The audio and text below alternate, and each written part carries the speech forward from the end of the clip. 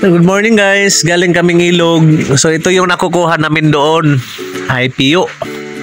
Yan. Ito yung alimango sa tabang. So nag-uklab-uklab kami sa mga bato doon guys. Uklab-uklab no.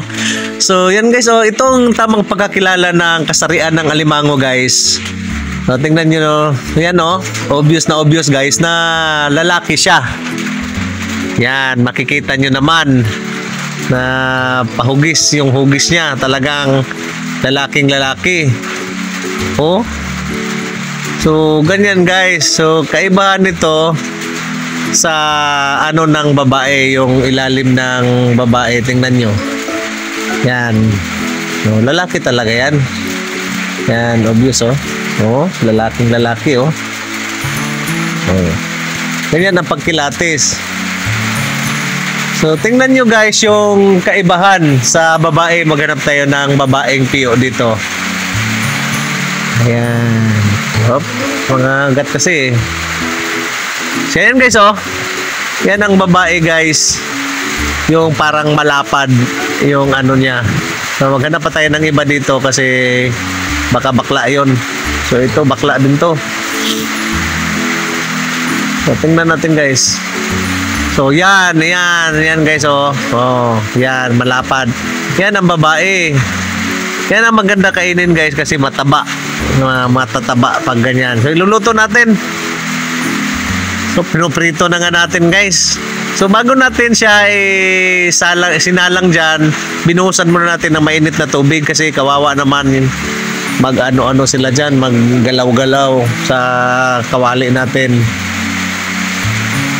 Yan guys, preprito lang natin ng simple. Tapos, lagyan natin ng magic sarap. O, depende na yan sa inyo. Sa akin, magic sarap yung ano, nilagay natin dito. Yan, matataba to guys. Yan, tapos asin, tapos konting tuyo. Pala, para lumasa talaga.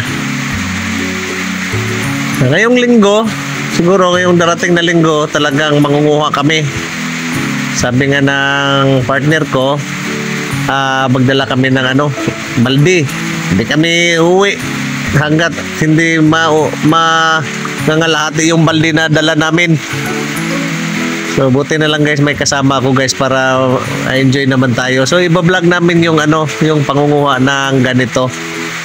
Uh, libre na pag-ulam dito sa bukid uh, sa bundok So, bukid pala guys sa Tagalog ay ano, palayan. So, pasensya na guys kasi Bisaya tayo eh. Baka sabihin na naman dyan, wala tayong angay. So, ganoon talaga, eh, trying hard tayo mag-Tagalog kahit hindi sa atin na lingwa ito para maintindihan naman ng lahat. So, nilagyan ni Mrs. ng konting asukal para luminam na. Pero tingnan mo yung may kasarian pa o yung no, katabi yung ano, lalaki at saka babaeng alimango.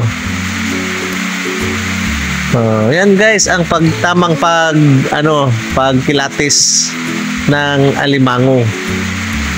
So ang lasa nito, uh, kasing sarap din ng ano, uh, alimango sa dagat.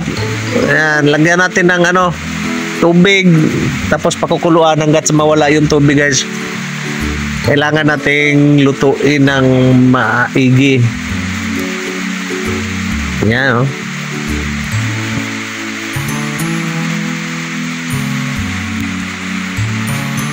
Yan sa hindi pa nakakatikim nito uh, talagang masarap ito promise So, yun na nga guys, luto na ang ating alimango. Tapos, uh, yung paa ng manok, hindi ko alam guys kung paa to o kamay ng manok. Yan ang ulam namin kagabi kasi. So, ininit na lang. Uh, sinabay natin dito yung agahan namin guys. Thank you for watching guys sa aking vlog ngayong araw na to.